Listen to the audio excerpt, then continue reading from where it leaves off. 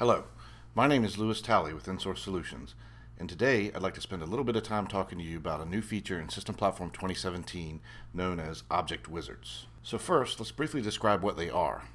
As I mentioned earlier, they're new for System Platform 2017. In previous versions, they were a part of ArchestrA graphics. Now we've enabled them within objects themselves. And what they allow you to do is build a more complex object with choices for configuration. So you can think of it as like building a super object. So you could use fewer objects to assemble your galaxy. It has a built-in tester, so you don't have to necessarily put it into runtime or create an instance to see what it actually does. You can see right from the interface. And it only enables what you turn on. So you can have a lot of options in the object, but in the instance itself, it only enables what you turn on, thereby making deployment quicker let's take a look at what it looks like in real time. I've now shifted to my virtual machine where I have System Platform 2017 installed. I've created a galaxy and I've defined a template based off of the master user defined. And for the purposes of this video, there's nothing in the object. I just named it Simple Object Wizard Test. And you'll see this is the main screen here. So the first thing that I'm going to do is I'm going to add some attributes. I'm going to try to keep this as simple as possible. So we'll just add a number of attributes. Let's say we'll add six. And we're going to give attribute four, five, and six some configuration. In this case, I just want to keep it simple, so I'm going to just enable historization for attributes 4, 5, and 6. Now we're going to come over to the choices and options part of the wizard, and I'm going to add a choice group. In this case, I'm going to give it a friendly name called history. We'll change the name of the choice to yes and no. From here, all we have to do is make the associations. So for the attributes that are historized, I would click on yes. And I would click on the attribute over here in the attribute window, add the plus to, to click the plus sign to add it. So I'm doing that for 4, 5, and 6. I did them in reverse order.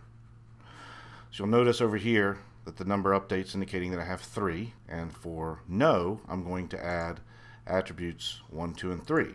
So now let's assume we want to give someone the ability to do some additional configuration above and beyond whether or not something is just historized or not. Say for instance the description or the storage period or whatever. We could do that with an option. So we're going to click on the add option. I'm going to just give this a name. We'll just call it description for short, DESC.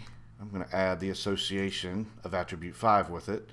And down here in the settings for the historized attribute discrete attribute name, and down here in the settings, I'm going to click the little visible filter. Notice that that count goes to a 1. And I want to remember to click the checkbox to say when that's true. So when that option is turned on, they will see the hist.discrete attribute name. So I think that's pretty much as simple as you can get to illustrate the point.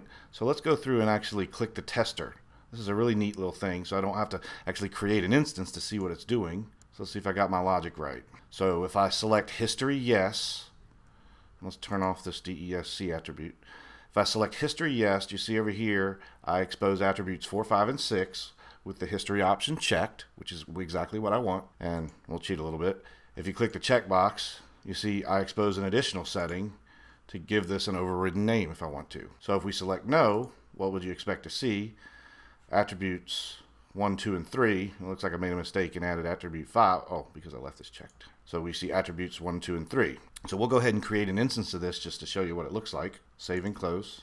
Also notice next to my object there is a unique looking mark. I don't know what the name of that mark is, but it's different from all the other objects. And that mark indicates that I'm using an object wizard. So I'm going to right click on it and select new instance. And just like we saw in the test, historized attributes 4, 5, and 6 when the option, oh, sorry, when the choice is set for yes, and when it's set for no, attributes 1, 2, and 3. I've shown you this with attributes, but you can associate any configuration within the object from symbols, scripts, graphics, whatever. So you can truly make a really powerful object from a simple object. I hope this was a clear understanding of the basics of what object wizards are, and thanks for taking the time to view this.